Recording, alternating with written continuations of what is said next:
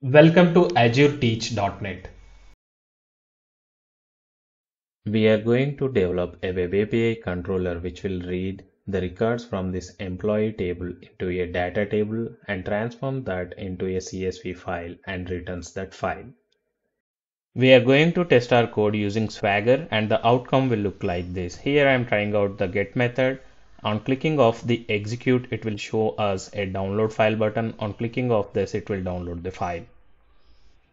Here I have created .NET 5 Web API project, but the code that we are going to write would work in .NET Core 3 as well.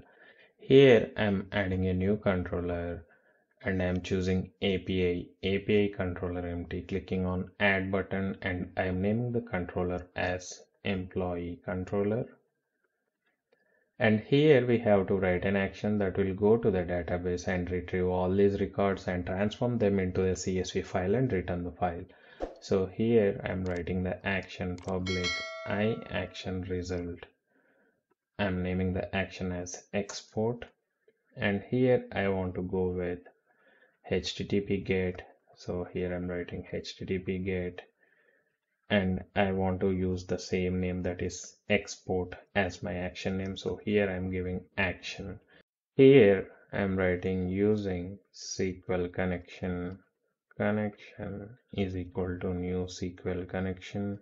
And we have to install NuGet package related to SQL connection Ideally, we have to write the database related code inside the data layer, but I want to keep this demo simple. So that's the reason I'm writing the database related code over here. And here I'm writing connection.open.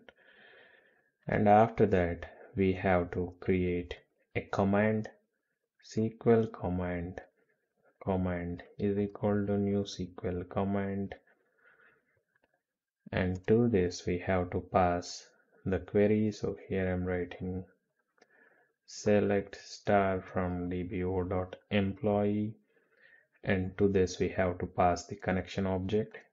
And after that here I'm writing using SQL data adapter. Adapter is equal to new SQL data adapter and to this we have to pass the SQL command. And here I'm declaring dataset I'm pressing control dot. And we have to use this namespace. Ds is equal to new dataset and here we can use the adapter object to fill the dataset so here I'm writing adapter dot fill and passing the dataset so this will retrieve the table information and fill the data set.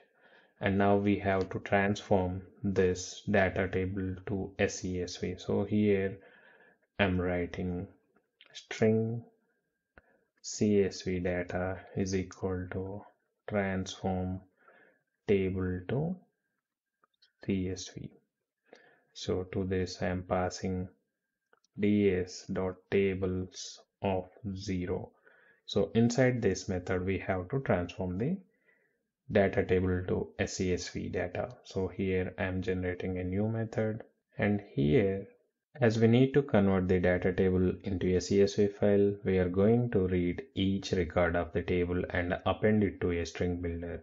So here I'm writing string builder, pressing control dot and we have to use this namespace. And here I'm writing CSV builder is equal to new string builder. And in a CSV file first we have to add the header of the CSV so here I'm writing IEnumerable of string column names is equal to data table dot columns dot cast and we are casting this to data column. And after that we have to select the column names that we get. So here I'm writing x dot column name. And now we have to append these column names. Here we'll get the list of column names.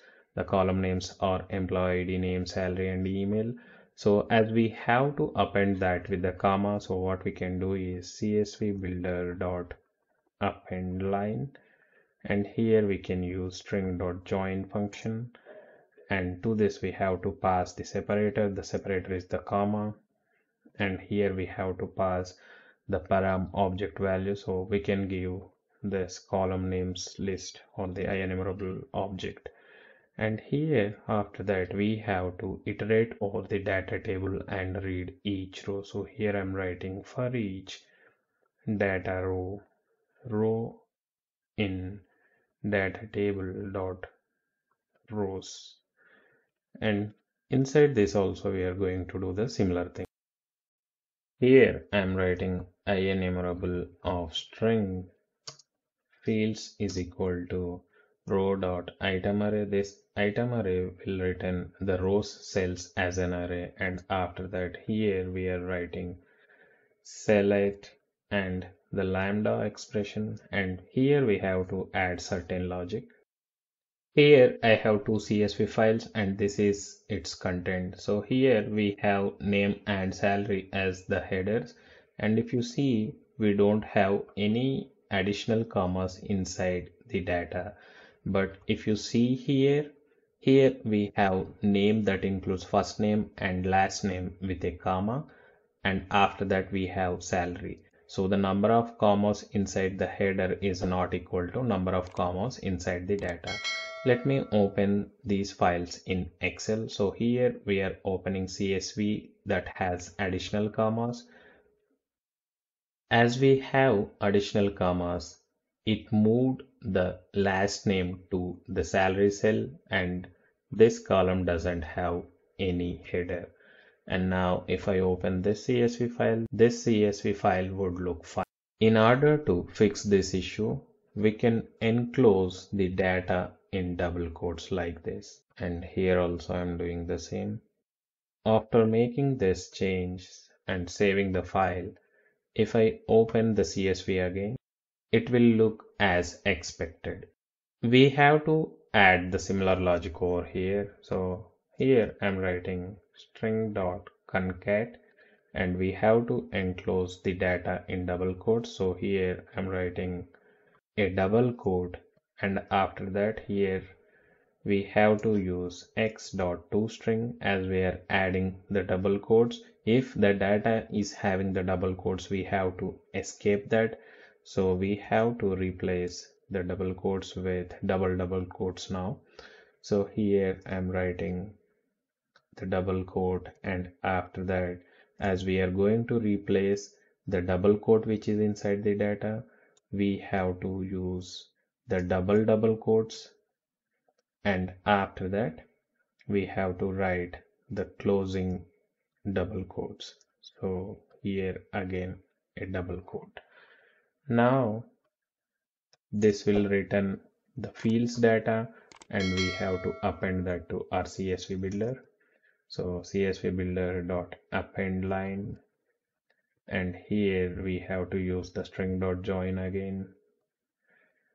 And again here we are passing the comma and after that the fields. And now from here we have to return csv builder dot toString now we have to convert this CSV data which is a string into the byte array and use the file method of the web API to return the file result. So here I'm writing where file bytes is equal to we have to use encoding class encoding dot utf8 dot get bytes you can use ASCII encoding and any other encoding as well.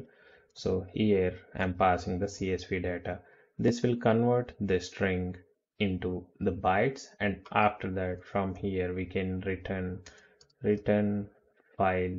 And this file method has some overloads. We are going to use those overloads to return the file. So here I am returning file bytes and after that here we have to pass the content type so the content type is text slash csv and after that we can pass a file name over here. So here i'm mentioning the file name as employee data.csv one last thing that we have to do is we have to pass the connection string over here. So I'm going to the server explorer and I'm right clicking on the data connection. And here I'm choosing add connection.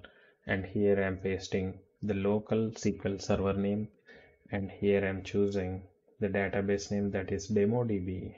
And here if we go to the advanced it will give us the connection string. So I'm selecting the connection string clicking on cancel and here I'm pasting the connection string.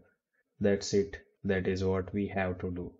And now I'm running the solution. As this is a .NET 5 Web API project it opened the Swagger by default. I'm clicking on get try it out and clicking on execute. If our code is correct it will return 200 and also the file. So here it returned the 200 success response and also the file. Here we have to note and as we are using this file method it is doing all the required things for us in returning the CSV file here we have the content disposition as attachment and the file name that we have passed and also the encoding of the file and also the file name again so I'm clicking on this download link. It downloaded the file. I'm opening the file. It has the data that we have exported from the database. If you feel this video is helpful to you, please like this video and also subscribe to Azure Teach.NET channel for more videos on .NET and Azure. Thank you.